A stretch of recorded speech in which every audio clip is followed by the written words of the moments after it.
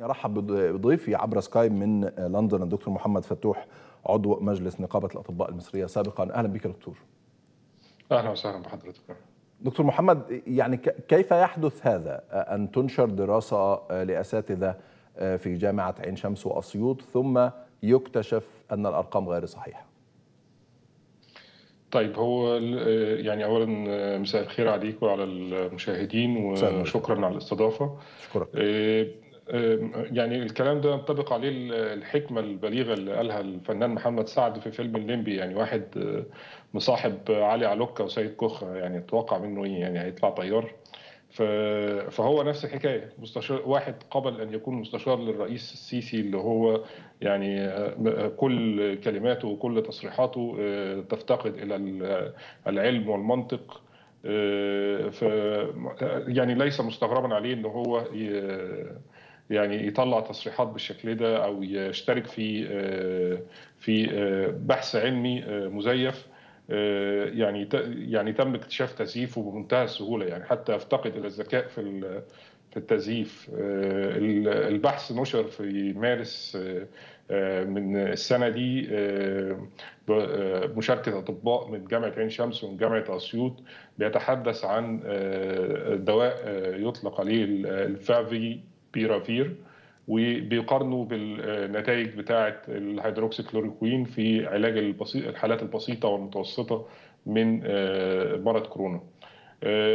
للأسف إن هم يعني لما حصل إن الدورية العلمية اللي اسمها نيتشر اللي ابتدت تتساءل عن البحث ده بالنسبة للأرقام بتاعته لقوا إن هي في شوية تضارب في الأرقام فطلبوا الأرقام بتاعة اللي هي اللي اعتمدوا عليها في في البحث.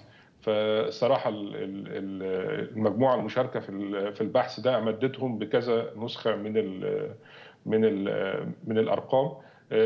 لما عملوا مطابقة ليها لقوا إن هي الأرقام دي لا تؤدي إلى النتائج المنشوره طب معلش يا دكتور محمد هو يعني إيه الأساتذة اللي شاركوا في البحث ده أمدوهم بكذا نسخة؟ مش المفروض إن ده فريق علمي اشتغل مع بعضه فبالتالي في نسخة واحدة ولا إيه؟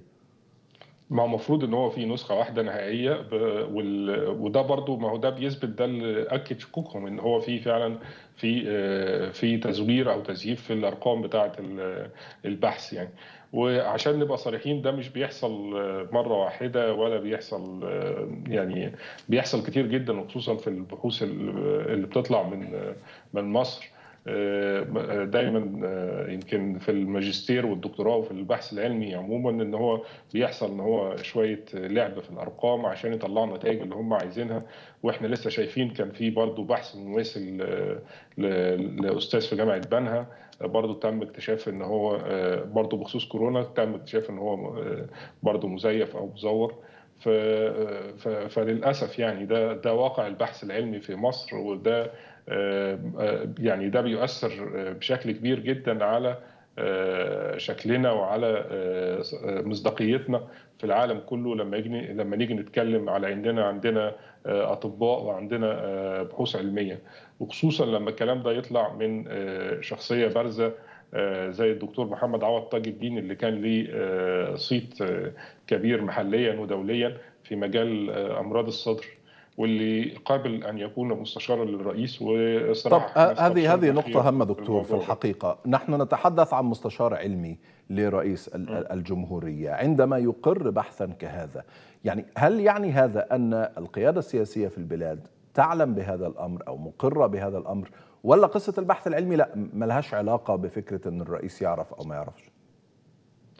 والله يعني من الصعب التكهن إذا كانت الرئاسة بس لا أعتقد إن الرئاسة أو القيادة السياسية تتدخل في في الحاجات دي لأن هم يعني يعني ناس على باب الله يعني زي ما بيقولوا يعني مش مش متفقهين في العلم قوي ودينا شفنا الفضيحة بتاعت جهاز الكفتة اللي كان المفروض بعديها إن هو يحصل تدقيق في كل الحاجات اللي بتخرج من وخاصة اللي ليها علاقة بالقيادة السياسية لكن للأسف يعني هذا هو الحال يعني دلوقتي. فما أعتقدش إن هم يعني هم متبحرين في العلم لدرجة إن هم بس هي القصة إن هو طبعا كمستشار علمي للرئيس وفي الوقت اللي إحنا بنتكلم فيه دلوقتي وفي في مرض أو وباء شديد بيجتاح العالم كله ومن ضمنه مصر زي وباء الكورونا لازم يكون في تدقيق شديد جدا ولا يضع اسمه في في أي دورية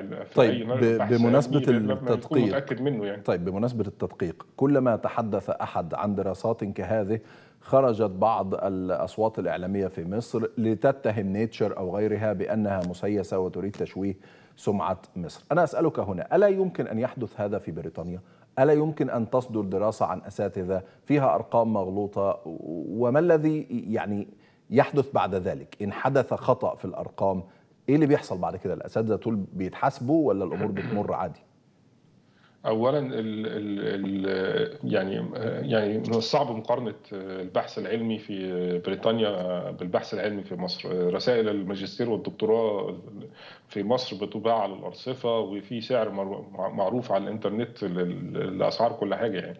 لكن في بريطانيا بيبقى في اولا عشان تعمل بحث أو رسالة زي كده بيتم دراسة البحث قبل قبل البدء فيه وأثناء ويتم مراجعته أثناء ال ال ال إجراء البحث نفسه. وبعد البحث نفسه بيتم تدقيقه ومراجعته كذا مرة من من كذا جهة سواء من المكان اللي هو طالع منه أو المكان اللي هيتنشر فيه.